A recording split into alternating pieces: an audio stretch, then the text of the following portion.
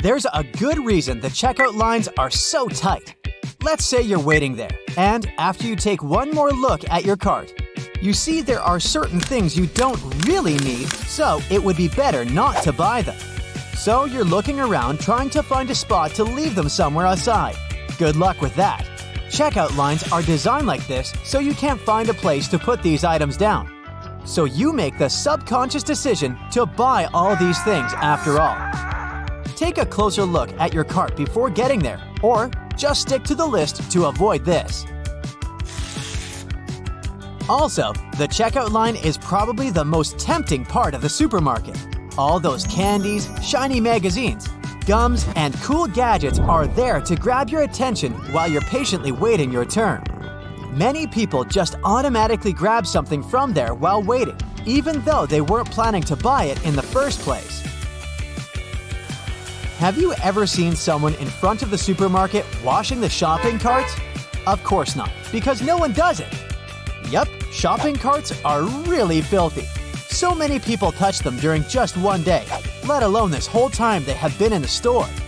It would be good to wash your hands every time after shopping, or you can wipe the handle down before using it. You'll see some stores have wipes right next to the entrance. Spraying water makes fruits and vegetables look pretty. Plus, it adds weight to them, so you might end up paying more for them. These are the two actual reasons why workers spray them with water. No one does it to keep them fresh.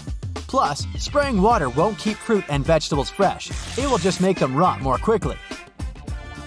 Spraying water on them or not, wash all the fresh fruits and vegetables you buy. You know how you sometimes like to pick up a pear or a peach to see if they're ripe enough and put them back down if not? Well, you're not the only one who thought of that, so stick to washing your hands every single time you come back from the store. Check out the packages of fruits, vegetables, and meat you're buying. Even though you have to be prepared, you won't be able to see everything that's inside. One Reddit user took a picture of bacon so others can see what the visible slice looks like versus the rest of those packed in a way you can't see them well. Another user shared an interesting trick to help them feel how much meat a pack of bacon actually has. And this only works at low temperatures. So the fatty bits become stiffer before the meat does when the bacon is cold enough. That way, if you pick a cold pack of bacon that's kinda stiff and hard to bend, you have one full of fat. If you feel it's kinda squishy and you're able to fold it in half relatively easy, it means there's more meat and less fat. Here's one more interesting Reddit catch. It's not a hack supermarkets use, it's more like a bonus on your vegetables. A whole new ecosystem on your veggies. It's for those situations when you want some extra flavors, but are running out of ideas. Fish you buy in supermarkets is often mislabeled.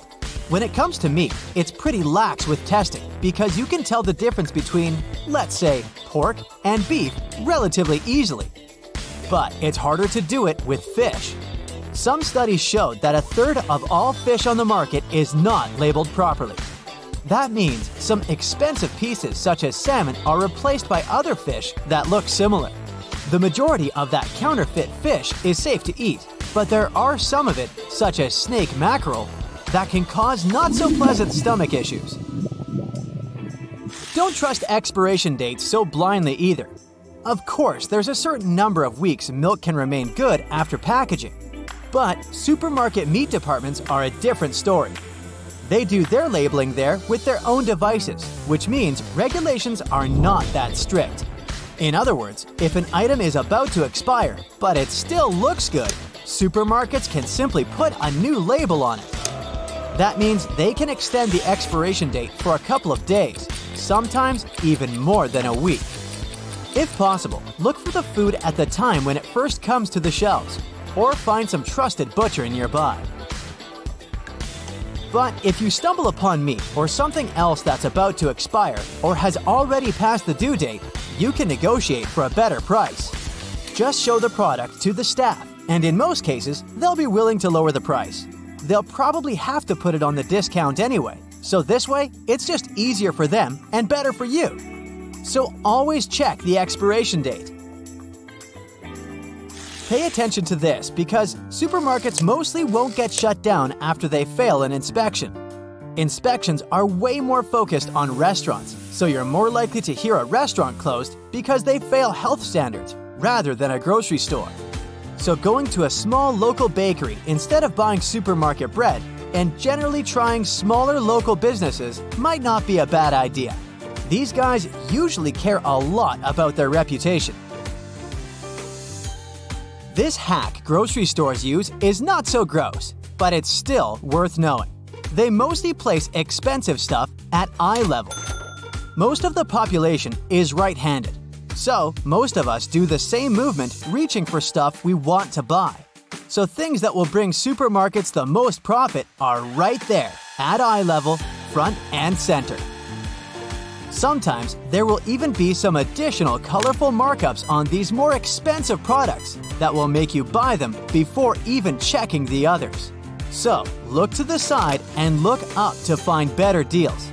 Don't just grab the first thing that gets into your visual field. Also, things that are geared towards kids are placed a little bit lower, so they're at eye level too. One Redditor shared a photo from one supermarket where they had to cut out the bottom of laundry baskets so shoplifters don't fill them up and walk out. Another commentator said this is just a display version. That way, if you want to make a purchase, employees will go to the back room and send the basket to the registers for when you're ready to pay. It feels so exciting when you're going through those colorful newspaper inserts with special discounts. But they don't make these to save you money. Their main purpose is to make you buy things you don't really need, but you'll get them anyway because you believe they're on sale. Double check all the coupons you're about to use. Sometimes the special price they advertise is the same as the regular price without the coupon. Bulk buying deals might sound great at first, but they can be a trap.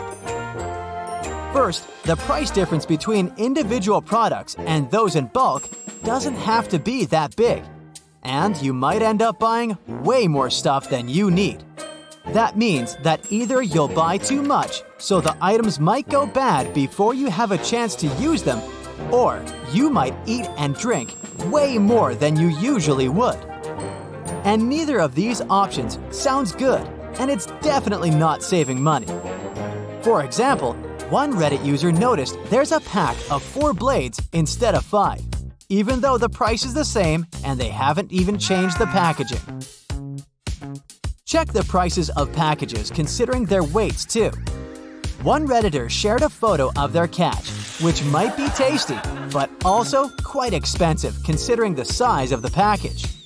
They usually shop for groceries online, and since this week was pretty stressful, they were tired and didn't check how tiny this block of cheese was. Well, it's a nice Sunday afternoon and you're shopping at your regular grocery store when you stumble upon a bloated package in the fresh produce aisle. You check the product information. It hmm. seems well within its expiration date. Then why the unusual shape, you may wonder? The answer is not always straightforward. For some types of fresh products, such as meat, fish, or seafood, sometimes even salads and cheese, scientists came up with something called MAP, or Modified Atmosphere Packaging, to ensure that these types of products with a relatively short shelf life stay fresh for as long as possible. A combination of gases is introduced in the packaging. It happens even before the product reaches your local grocery store. A French professor at the Montpellier School of Pharmacy stumbled upon this method after he noticed that fruits tend to stay fresh for longer periods of time in low oxygen storage conditions. The types of gases in MAP's packaging can vary from product to product, but the main idea is to replace or reduce the content of oxygen. It's generally replaced with either nitrogen or carbon dioxide. Keep in mind that just because a bloated bag of hmm. salad is within its expiration date, it doesn't mean it's always safe to eat.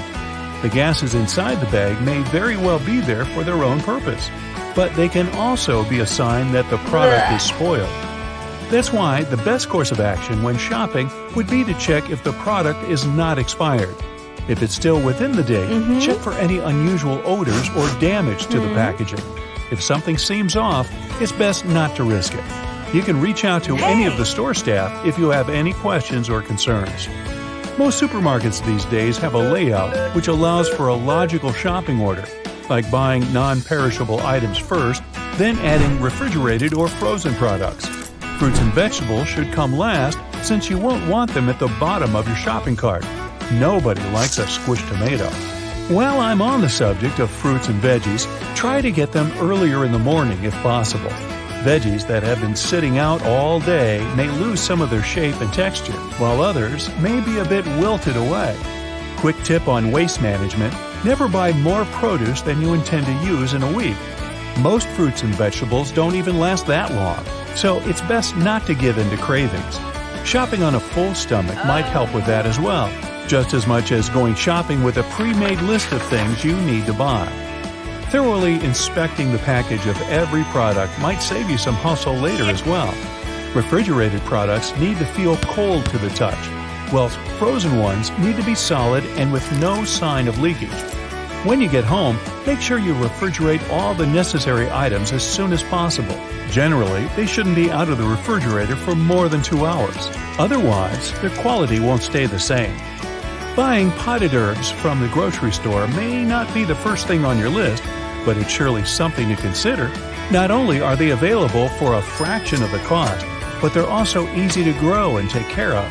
Just picture a nice herb garden right there on your balcony or even in the kitchen. Wouldn't that be nice? You'll always have fresh basil to top a mouth-watering pasta dish. Since you're still at the grocery store, pick up some coffee filters while you're at it. You may not have a machine at home that actually uses filters, but there are a lot more things you can use them for around the house. They can be used for straining liquids, safely stacking delicate china in your cupboards, or even polishing windows, or shoes for that matter. If your favorite fruits and vegetables are on sale, but buying large quantities would mean they go to waste, consider freezing them. You can stock up on items for smoothies, especially for the colder season when there are limited options for fresh fruits. And don't just grab the first thing on the shelf, especially if it's likely to go bad quickly. Stores restock their produce following a first in, first out layout. So the items at the back of the shelf will always be a tad bit fresher. The same goes for tea if you prefer it to coffee. Switch to buying loose leaf tea, and you'll not only reduce the cost, you'll also be able to make your own homemade tea blends. Loose leaf tea also has a stronger flavor than tea sold in tea bags. As for the other household stuff, stock up on items such as light bulbs, paper towels, or batteries. Chances are you'll always be needing at least one of mm-hmm. these items, so it's best to buy them in larger quantities when on sale. They never go to waste, and let's face it, it's always annoying when you run out of batteries at home and your TV remote stops working. Hey, tell me about it. Try to reduce the number of times you go to the grocery store to buy just one item. It's inefficient, and most likely, you'll end up buying things that you don't actually need. Uh, that shopping list starts to make a lot more sense now, doesn't it? Another list worth making the one containing whatever you have in the fridge. Try to create such a list at least twice a week. Meal planning for at least a week in advance will also help you reduce impulse buying. If you already know what you'll want for dinner on Wednesday, why add anything else to the cart if it's unnecessary? At the same time, start getting creative with your leftovers. There's no need for them to go to waste when you can mix and match or add some additional herbs and flavors to spice them up. Store leftovers in transparent containers for added visibility, and don't be afraid to set out a leftover day during the week. It's also nice to look at them as ingredients rather than leftovers. Use extra leftover pasta or steamed vegetables for a frittata or an omelet. Blend together cooked vegetables with some tomatoes to create a pasta sauce. Put together some wraps for the next day's lunch with anything from leftover cooked rice to meat and vegetables. Or, if you're really looking for the easiest method to save leftovers, you can always turn them into soup. Last night's vegetable side dish can turn into a wholesome lunch if you simply add a can of broth and blend it all together. Even a two day old loaf of bread can be salvaged if you cut it diagonally, sprinkle the slices with some herbs and olive oil, and pop them in the oven for a couple of minutes. You'll then have yourself some nice homemade croutons for that previously mentioned soup. A little label know how never hurt anyone either. Be on the lookout for ingredients you've never heard of or those you can't pronounce.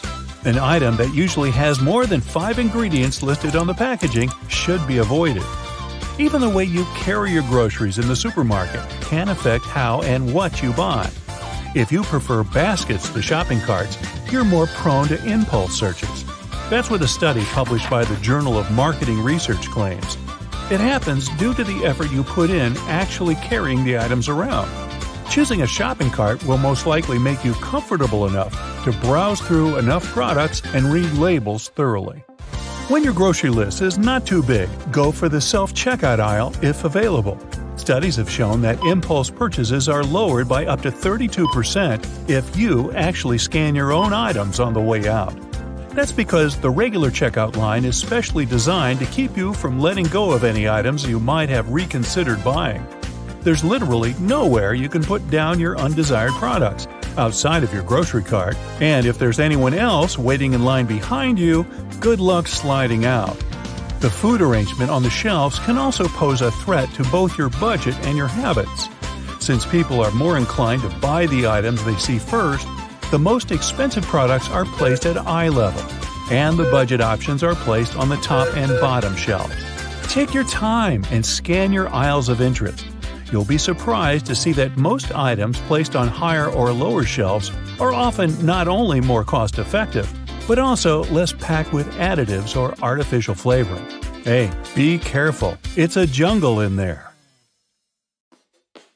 Supermarket shopping carts usually look simple, but they hide tons of secrets. They often shake when moving and sometimes even make loud clinking noises. But that's not because they're old or of bad quality. This is a psychological trick. The faster you walk, the louder the noise the cart makes. Trying to produce as little noise as you can, you start walking more slowly. And, of course, you can't but pay attention to all that yummy stuff on the shelves. And if some of it ends up in your cart, well, you can't blame yourself, right? Another trick supermarkets use to make you buy more is the size of carts. They're usually extra large, and you'll subconsciously take more products to fill all that space. Now, have you ever noticed that shopping cart wheels often wobble? Even worse, there's almost always that one wobbly wheel that makes it impossible to steer the cart, and you have to go back to switch it. Shopping carts have caster wheels. Those are mounted on the bottom of large objects so that you can move them around more easily. But over time, casters develop flutter. It causes the wheel to swivel back and forth. This is kinda inconvenient since such flutter can make your cart move in an unwanted direction. Interestingly, flutters are less likely to occur when you're moving slowly. So, can it be that supermarkets don't repair fluttering wheels because they want customers to move around at a more leisurely pace? Just a thought. The black lines on the basketball make it easier to use. They're actually grooves helping you to handle the ball. And since players need to move around the court while bouncing the ball, control is crucial. Those pebbled dots that cover the outside of the ball serve the same purpose. Do you have an eye for detail? Then you might have noticed a strange looking notch at the bottom of some plastic bottles. It's called a deco lug, and it helps to indicate the placement of a bottle sticker or some artwork.